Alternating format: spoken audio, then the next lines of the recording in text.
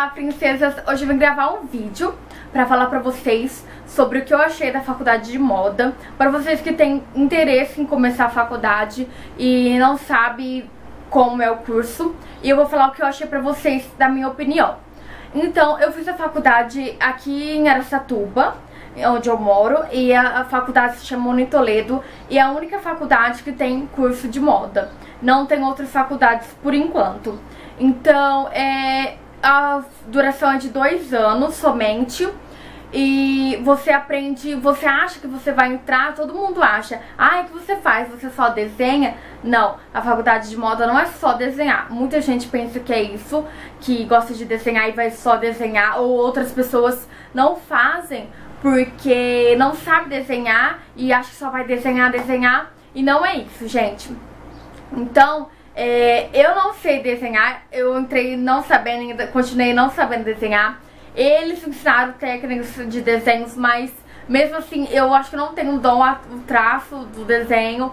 Eu teria que fazer um curso só de desenho mesmo, pra poder, se eu quisesse seguir a carreira de estilista, pra poder desenhar croquis de moda. Eu tenho uma, muito, uma certa dificuldade em desenho.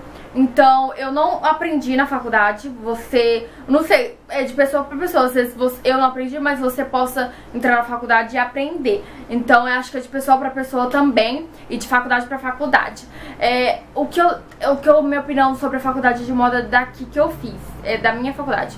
É, lá é, era, era um problema porque não tinha muitos manequins, é, não tinha um suporte, todos os materiais a gente tinha que comprar. Então você que quer entrar no curso de moda sabe que você vai gastar bastante, porque tem a mensalidade, a mensalidade eu pagava 533 reais, então dois meses já dá mais de mil reais.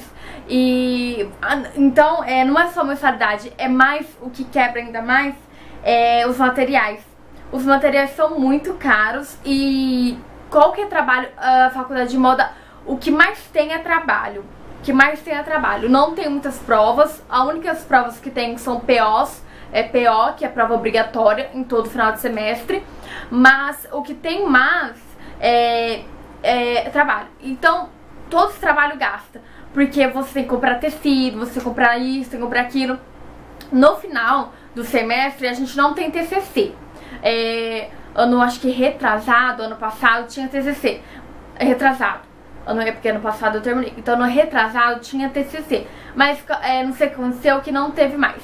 Só que pra você concluir, você teria que fazer um desfile é, de moda. Então é, cada grupo jun se juntaram e, e fizeram a roupa e, e procuraram seu modelo para poder desfilar a sua roupa. Então esse era como se fosse um, TT, um TCC para nós. Então, é, você tem que estar com um bom dinheiro, porque você vai gastar bastante no material em si, que tem que comprar é, cada, cada semestre, e nos trabalhos, que então tem muito trabalho.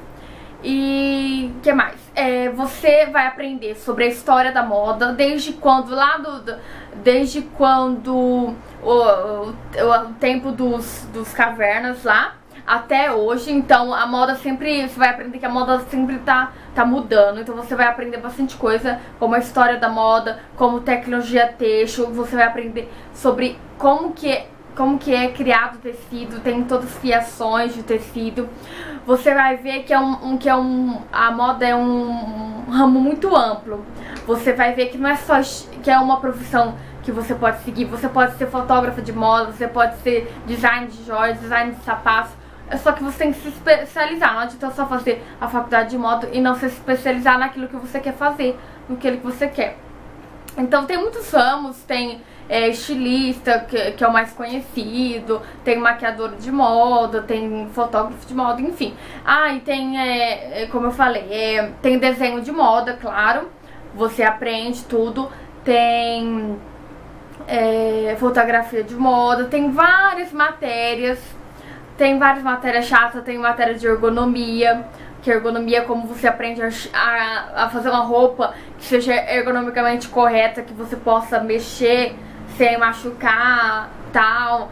É, eu já tive esses trabalhos que tive que fazer é, peças para deficientes, então você aprende várias coisas, não é só desenhar.